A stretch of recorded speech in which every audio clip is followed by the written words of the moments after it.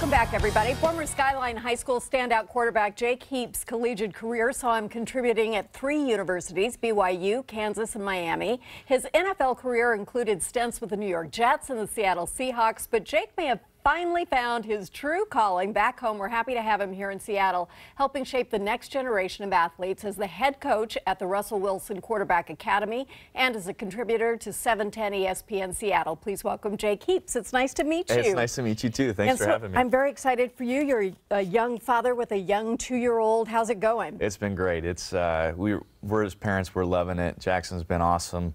Uh, watching him grow and do new things every day. We're we're having a blast. Yeah, it changes you as a person. It, it truly does. You know, you, you hear your parents talk about it all the time, and you're like, yeah, yeah, okay. Right. But when he came into this world, it just totally changed everything.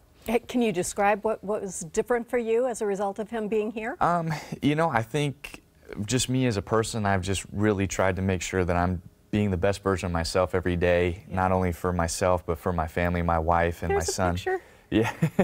and that's not yeah. just a cliche. I, yeah. You know, you as you say, you hear it from your parents and you think, yeah, yeah, and then right. it is so transformative to be responsible for a little human. Absolutely. And, and to deal with that. I'm yeah. happy for you. Thank you. Happy for you. How old were you when you started playing football? Um, I was actually seven years old. I was one of those kids that was dying to get out there. Yeah. My parents put me in different sports. I was playing soccer for a little while, and we actually got done with a soccer game, and we were driving back home, and I looked out the window and saw football practice and was like, Mom, I got to do that. I want to do that. Yeah. Do you know why it was so appealing? You know, I, I watched it on TV, but it just looked so fun, just the pads and hitting and throwing the ball and all that. It just was something that really drew my attention. You weren't always a quarterback. No, actually, my first year, uh, I was a offensive lineman. Uh, I wasn't the biggest kid. Uh, that's why I wasn't there, but I, I actually was really grateful for that because it taught me how to get my feet wet and to get physical. I was a Mm-hmm. shy kid. I was always taught don't hit and things like that. So now Yeah. put on the pads and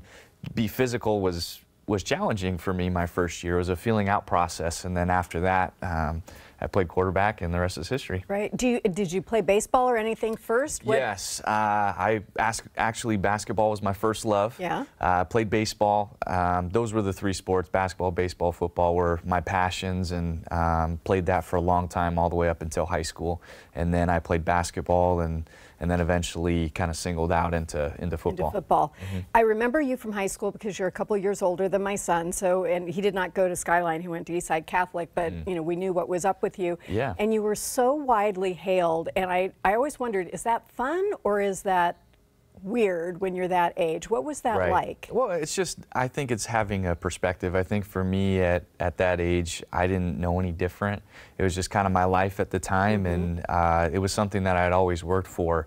I was a very motivated kid from an Yeah. early age. I think in the fifth or sixth grade, I turned to my parents and said, "Hey, I, I really want to be an NFL quarterback, and I want to start trying to become more advanced." Mm-hmm. And and so I was going to quarterback training and doing all that, and, and so I just always had my goals set high. And uh, when all of that came, ultimately, all I focused on was I just wanted to be a, the best Skyline quarterback that I could be, and everything else kind of fell into place, and, and it was a blast. We had a great run. That's awesome.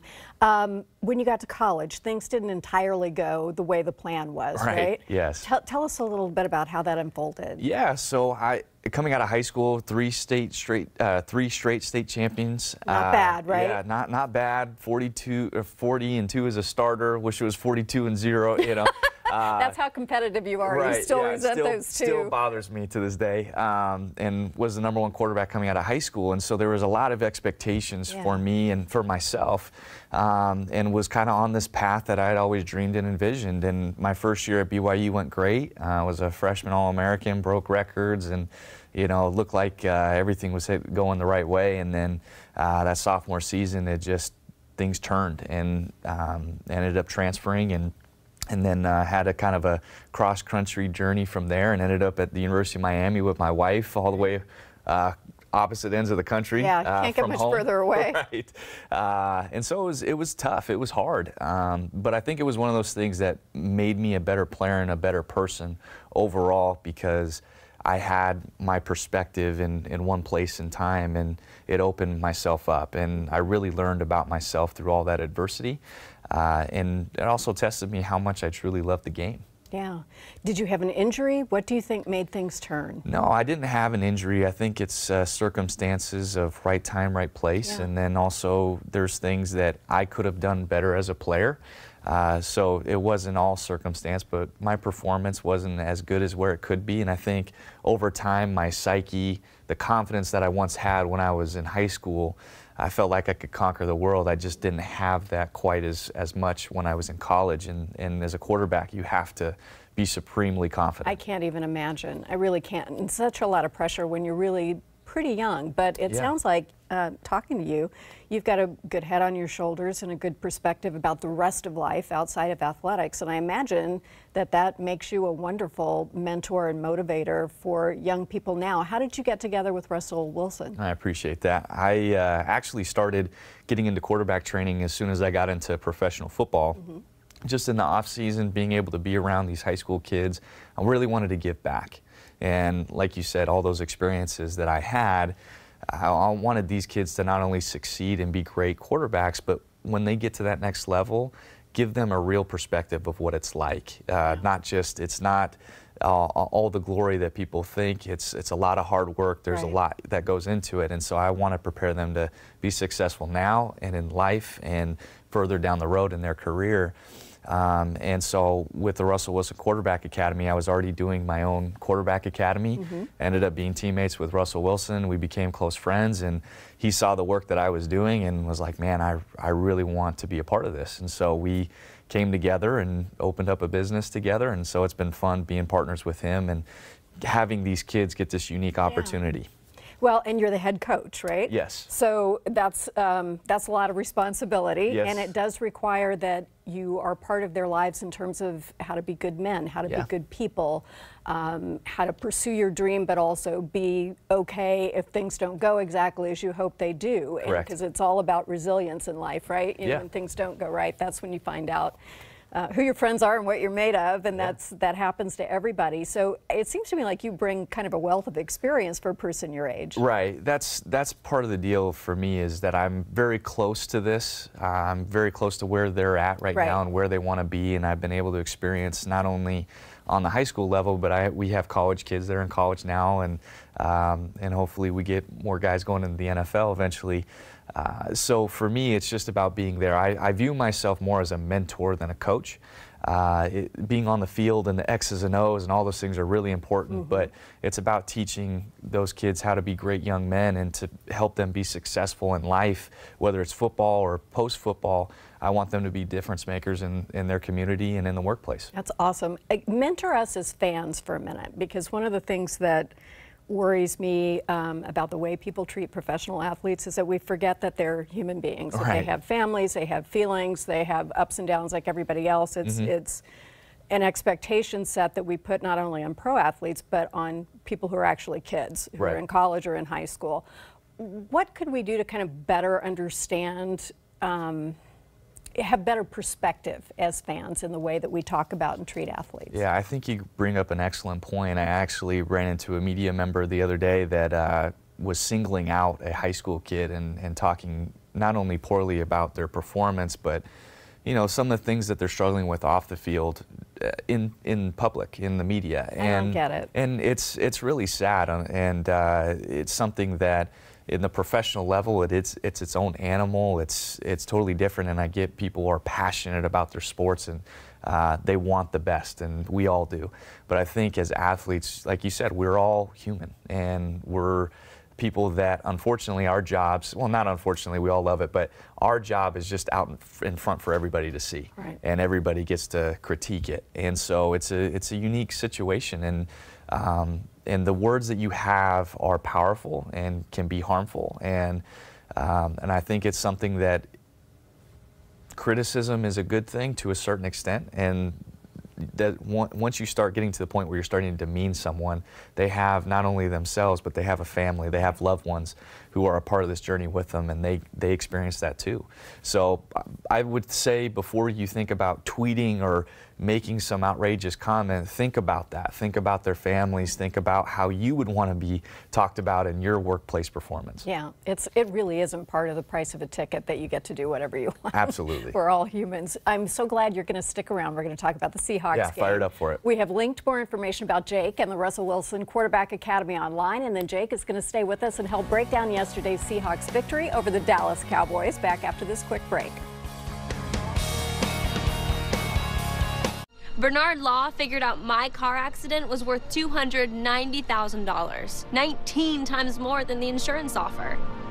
What's your case really worth? Call us and find out free. 800 690 1000. When DC politicians voted to gut health care for people with pre existing conditions, I decided to run for Congress myself. Because career politicians don't fix problems, they just make our problems worse.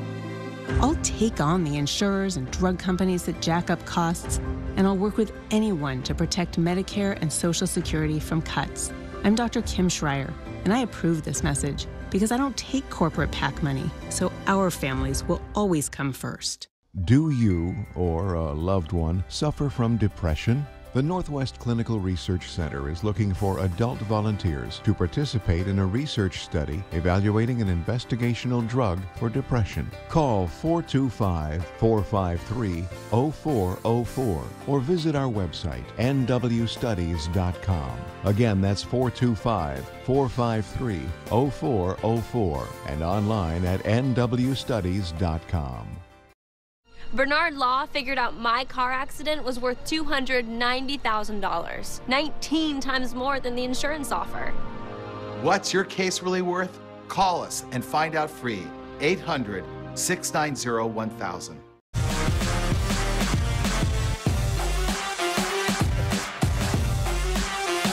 Like it. Football music. The Seahawks pulled together a 24 13 win over the Dallas Cowboys yesterday in front of a stadium full of raucous 12s at Century CenturyLink. One of the highlights was the exemplary play of safety Earl Thomas, but this morning he's also the focus for other reasons. Jake Heaps from 710 ESPN Seattle is back with his recap. Um, so put this in perspective for us. I love Earl Thomas. Yeah, I do too. Love Earl, and he played so well. He's in the last year of a huge contract, and now we don't know what's happening. He missed a couple of practices. What's your insight on what's happening? Right. There's there's a lot of drama. I mean, there's no way to cut it. There's a lot of drama going on, and Earl didn't participate in any of the offseason activities. He showed up uh, just before week one on Wednesday to get ready for the first game. Uh, he practiced this, the week two, and now all of a sudden in week three, he just says, "Hey, I'm not going to practice. I'm not going to participate in any of the uh, major practices." Yeah. And uh, He says he doesn't want to risk an Correct. injury. Yes, and post game he said that, and and so it's just very foreign uh, to see this, not only in a normal workplace, but also in the NFL. Yeah. And so Earl's kind of put the Seahawks and the organization in a really tough spot because the Seahawks. I can't imagine want to go through the whole season with Earl just not practicing. It sets a precedent that you don't want your players doing. And they need to make a decision ultimately on whether they give him an extension Mm-hmm. or whether they trade him, in, in my mind, in my view. Um, and I think that's what Earl wants too. He wants to have this organization decide what his future is going Yeah. to be. And Do you he's think really he cares which way it's going, whether it's trade or stay, or he just wants to get past this? Yeah, I think ultimately he would love to stay in Seattle. He's actually built a life here. He's, His family, his, his wife's here, his daughter's going to school here. I think ultimately it's what he would love to have happen, but he just wants to have security. He wants to ultimately get paid the way he views himself getting paid, and he wants to be a part of an organization that quote unquote respects him. And the NFL is brutal in that way. The minute you're not useful, boom, Correct. you It go. is a cutthroat business. Yeah, absolutely. Okay, so tell me about the good from yesterday. What did you take away as as good stuff? Well, I think the obvious thing is we got our first win, right? Yes. Uh, we were, as fans, I think we were all kind of looking at this and very nervous. Uh, could we go 0 and 3? And the Seahawks answered that, you know, with a win, and at CenturyLink, place was rocking. Yep. And now we have an opportunity to even out our record and go 2 and 2. Um, the other positives that I saw was the offense finally had an identity. Um, they were able to run the football very effectively with Chris Carson. He was so good He- he was great. Um, so, he just finishes a run so well. He's just exudes his effort. Right, and Margaret, I think that's the key is what he did wasn't a big stat filler. He got over 100 yards, but he just ran extremely hard and, Yep. and made the tough yards. And the offensive line played much more improved, giving Russell Wilson time to do his thing. Yes. And Russell, I thought, really took the game over in terms of managing the game, being the top five quarterback that he is, and doing the subtle things that most people don't see in terms of changing the play at the line of scrimmage, making sure that they're in the right protection calls. And he actually changed the tempo. Uh, in the middle of drives, and it actually led to the Jaron Brown touchdown pass. He saw the defense was kind of tired, and he went up tempo and got them off guard. And That's so, awesome. Yeah, it's, That's it's awesome. And you see. see that obviously when you're watching the game. I'm just Right. yelling It's- indiscriminately. right. It's fun as a fan uh, watching football, but it's even more fun being a guy that's been in that organization in and that you QB know room. him as right, well. Right. And so, it's that's fun. pretty cool. Okay, so the not so good. Yeah, I, I think really the one thing that you could point to in terms of the game, I have other concerns, but the in terms of the game is the start on offense. They they haven't yet scored a touchdown on their opening drive. They were really struggling to get things going in the first quarter, and I think I know that's something that they want to improve. They got it going in the second quarter, and they never looked back since. We've been but- doing this for a long time. Right. The second half thing. Right. I, it's Yeah, It's it's, weird. I think for fans it gets frustrating, and luckily in the second quarter they were able to get it jump started, Yep. and that we were able to take an early commanding lead, and then we were able to sit on that. But I think we, I think that organization, that offense wants to get going in that first right. quarter. That makes sense. Okay, for you, the player of the game. Uh, for me, the player of the game, uh, we already talked about him, but it was Chris Carson. Mm-hmm. He did all the dirty work. He didn't have huge open running lanes, but it was almost kind of Marshawn Lynch esque Yeah. in terms of how hard he ran, and he got those uh, hard earned yards. He had 32 carries, 102 yards rushing. That's a little bit over uh, three yards a carry, which isn't fantastic, but what he brought to the team was able to bring a balance, and that's what this offense has needed. Yeah, well, yes. And I loved that he seemed to get stronger through the game. He was showing great effort at the end of the game. He must have been tired. I was tired watching him, and I didn't know how he was going to do that. So, okay, now we're looking ahead at Arizona. Mm-hmm. Um, and I'm sort of lost. I have, I can't remember whether they were that good or that bad last year. And I know our division is tougher. Tell me a little bit Yeah. about what we're looking at. So Arizona is kind of falling on the decline. I think when you've looked at Seattle and you've looked at Arizona, they've been the top two teams in, in Right. the NFC West, and now you see the emergence of the Rams and Seattle's kind of retooling, as Pete Carroll likes to call it, and and now Arizona's kind of fallen off, and and so they went from being an early pick last year, uh, and they were able to get Josh Rosen in the first round. But ultimately, this is a team that's really struggling and searching and trying to find answers for who they are. They've got a new head coach. Uh, they have a new quarterback in place in Sam Bradford, who hasn't played the best. And now they put in Josh Rosen at the end of the game last game. And so now there's a little bit of a QB controversy. So they're searching, they're trying to figure themselves out, and it's a perfect opportunity for the Seahawks to go into Arizona and get that second win of the season. Well, let's hope we do, because that place has been tough for us in the past. But as you say, it's a different team, and the Rams are the ones we're really worried about, correct? Right, right. I, and I think the biggest thing moving forward is the defense has been able to play well. I think they'll continue to do that versus this Arizona offense. But the most encouraging thing is, again, finding that groove and identity on offense. And go, It, it wasn't it wasn't perfect, but they'll be able to build off of it and get Yeah. better. And McDougald, how good is he? Oh, he's special. That was super fun to watch. I've become a defensive fan as a result Yeah. of seeing the Seahawks through the years all of a sudden, but he was awesome. Thank you so much, Jake. It was great to Absolutely. meet, Yeah. meet you. Excuse me. Still have some uh, nacho meatball going on. The Seahawks hit the road again next weekend to take on the Arizona Cardinals. Kickoff is scheduled for around 1 in the afternoon. And still ahead for us today, a renowned Latina playwright tackles divisions in race and class through humor. We're going to meet the stars of the play, one of them, Native Gardens, after this quick break.